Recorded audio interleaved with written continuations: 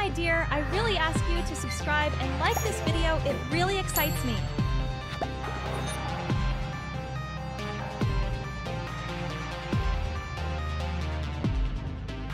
Thank you very much. If you like my music, be sure to write about it in the comments.